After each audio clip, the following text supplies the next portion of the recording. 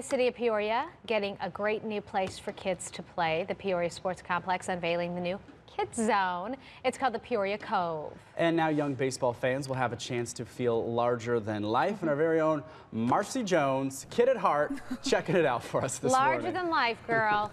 Show us what it's all about. You guys, I don't know how I lucked out and got on the kids slash baseball beat this morning, but I'm not complaining about it. This is very cool. It's the first day that this is going to be open. I'm here with the guy that knows the most about it, Blake Englert. Now let's talk about the Kids Cove because it's pretty cool.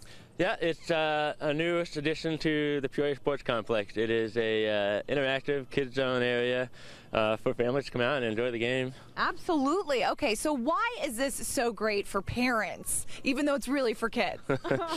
Well, if anyone with uh, kids knows, that perhaps the kid doesn't want to watch nine innings of baseball and sit in one Yeah, place. It does get a little long. Yeah, yeah. So sitting in one place can be a challenge. So why not give them something to do? And you can definitely take a break and head over to the Peoria Cove.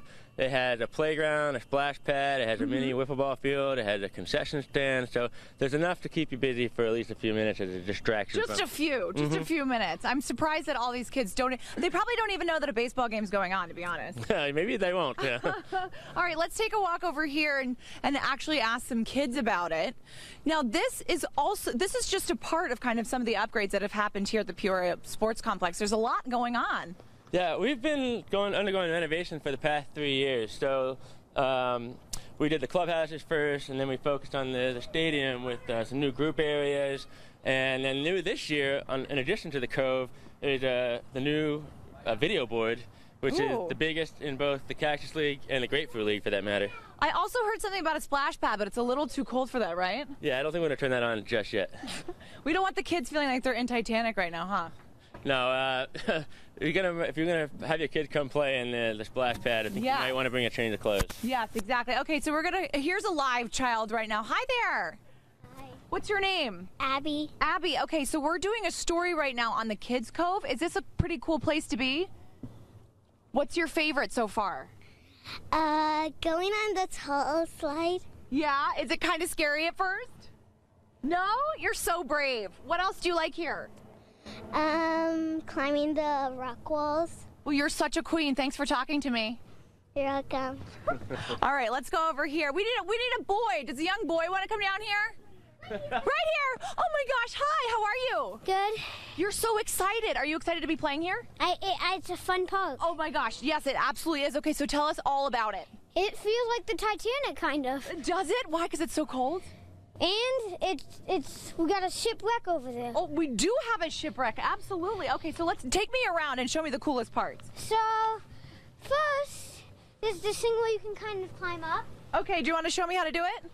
Well, there's an easier way. Oh, easier way. Okay, here we go. There's a, there's a slide right here that you can go down. Okay. Now, what's your name? Ethan, Ethan, how old are you? eight. Eight. It's a great age. And if you want to play cannons, you Oh, can play cannon. cannons.